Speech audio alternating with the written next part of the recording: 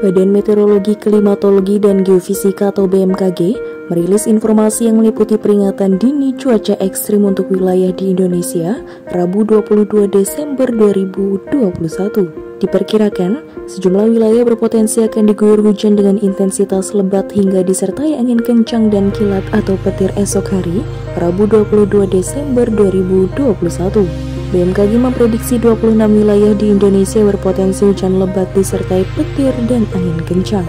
Berikut daftar peringatan dini cuaca ekstrim BMKG di kabupaten atau kota di Indonesia untuk Rabu 22 Desember 2021 dikutip dari bmkg.go.id.